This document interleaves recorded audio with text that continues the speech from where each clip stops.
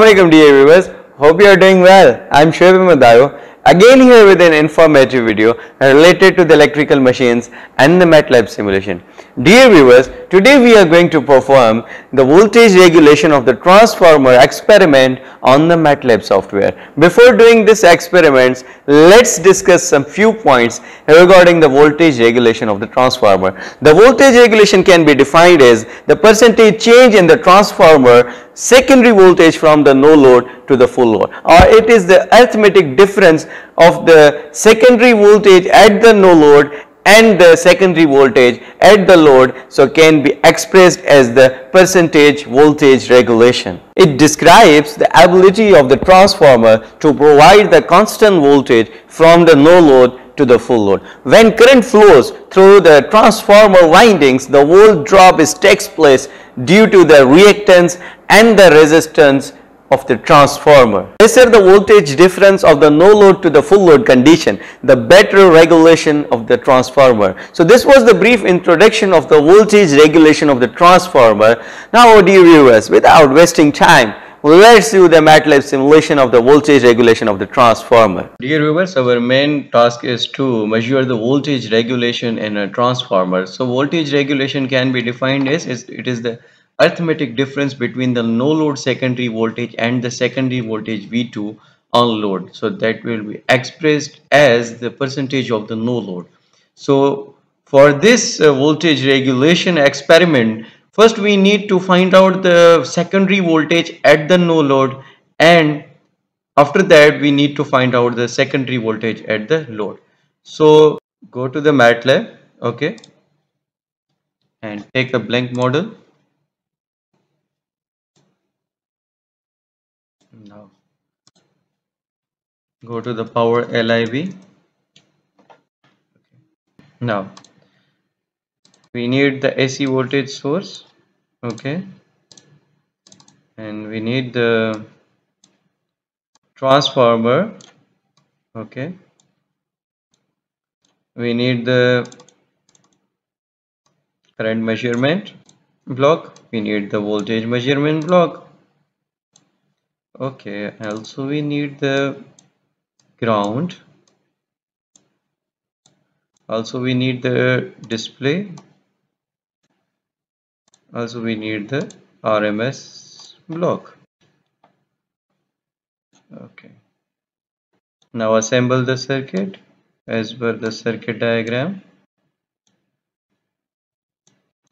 Make it two winding. Transformer apply ok now connect this ammeter with the primary winding of the transformer. Okay. So the voltage source is connected with the primary winding of the transformer. Now we need another display. We need another RMS block. Now this display would give us the value of the primary current. Okay. Now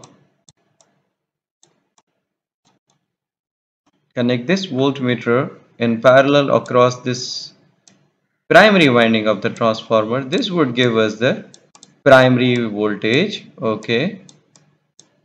Now this display would give us the primary voltage okay. Now our first objective is to measure the secondary voltage at the no load condition okay. Now Connect the voltmeter in parallel across the secondary winding of the transformer. Now this is the secondary winding. Connect this voltmeter in parallel across the secondary winding of the transformer. Okay. So this voltmeter uh, would give us the value of the no load secondary voltage. No load secondary voltage. Okay. Now change the parameters. As per the circuit diagram winding 1 is the 11000 volts 11 e power 3 and winding 2 440 volts. Okay apply. Okay. And we are giving 11 e power 3 to the primary winding of the transformer and make it frequency 50 hertz. And change the frequency of each RMS block make it 50 hertz.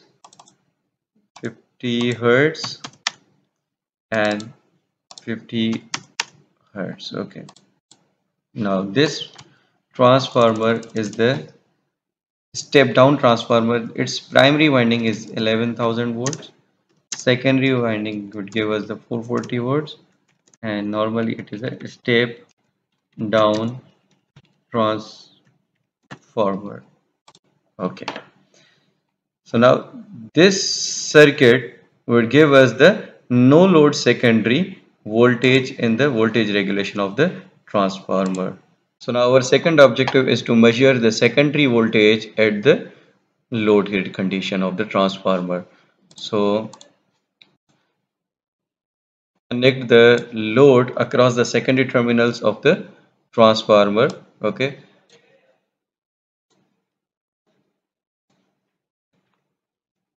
So now make it RL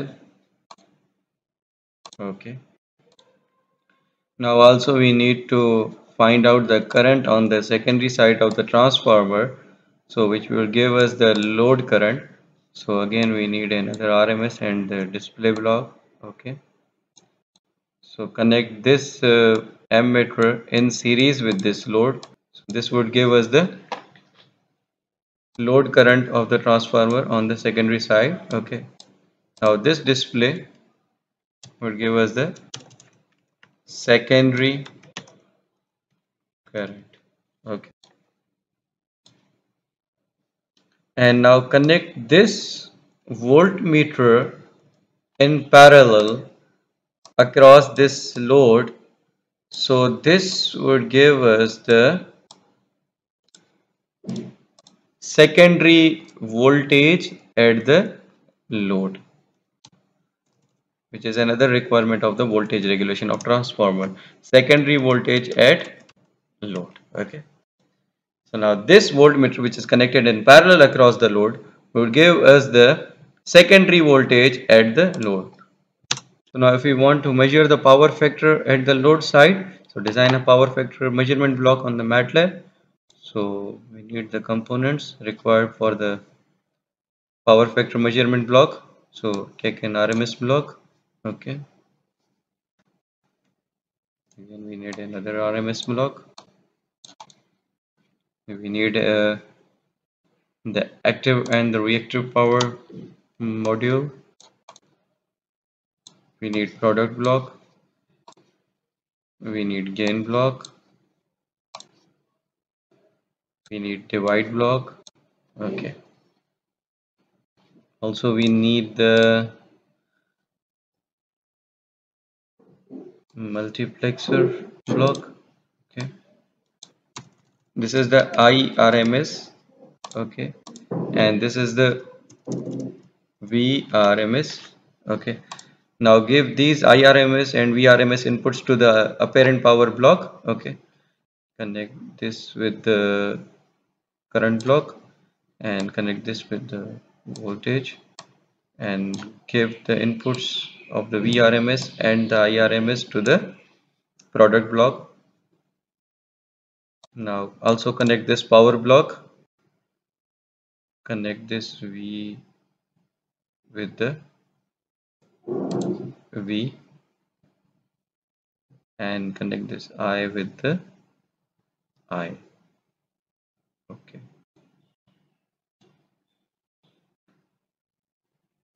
Now connect this multiplexer.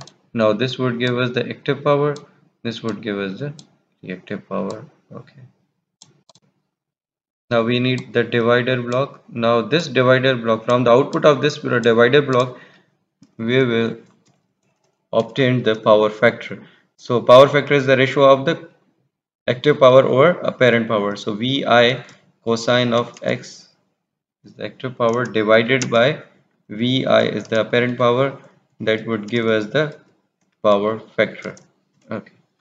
Now connect the output of this multiplexer with the product block.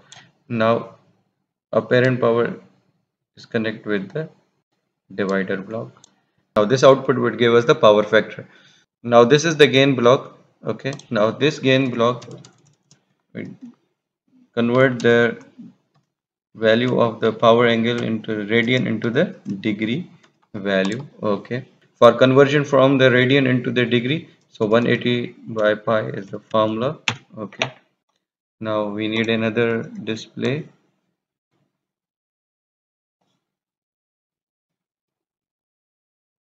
we need the trigonometric function. This. Now a cosine of phi make it and signal type real. Okay. From this output of this divider block this would give us the power factor.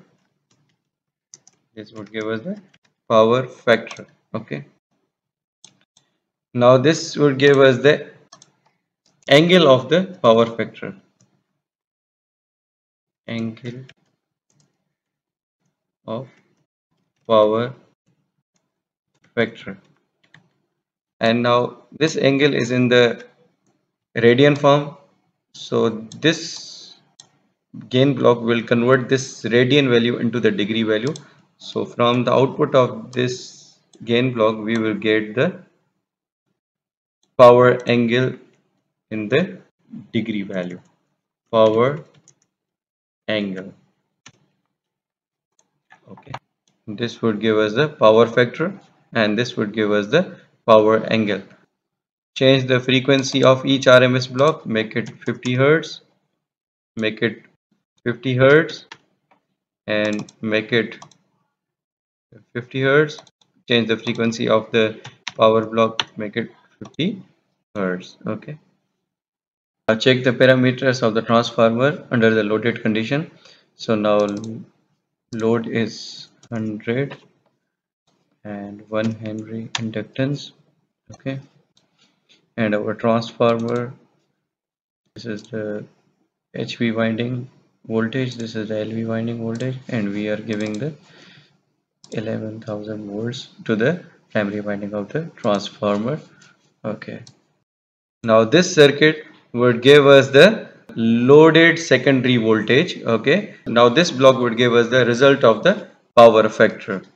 So now our circuits are ready for the simulation. First we have to measure the secondary voltage at the no load. So this circuit would give us the secondary voltage at the no load. So run the simulation now this is the secondary voltage at the no load because we have connected the voltmeter in parallel across the secondary windings of the transformer. Now the no load secondary voltage is 311.1 volts. Okay. So this is the RMS secondary voltage of the 440 volts which is the secondary voltage of the transformer and this is the RMS voltage of the primary voltage. Okay. Uh, now this circuit uh, would give us the loaded secondary voltage means secondary voltage at the full load okay? So run the simulation observe the secondary voltage. Now here the secondary voltage under the loaded condition is 305.6 volts and also the power factor of the load is 0.30 okay? And the primary current in this case is 0.03 ampere and this is the RMS voltage of the primary voltage and this is the secondary current uh, which is the load current 0.92. Now our objective is to calculate the voltage regulation of the transformer. Now we have uh, the value of the no load voltage is the 311.1 volts. Now we have a value of the secondary voltage under the loaded condition which is the 305.6 volts. Now put these value in the formula. So this is the calculation regarding the voltage regulation. Now this is the formula uh, secondary voltage at the no load minus secondary voltage at the full load. Okay? Now our secondary voltage at the no load is 311.1 volts and secondary voltage at the full load is 305.6 now put these values.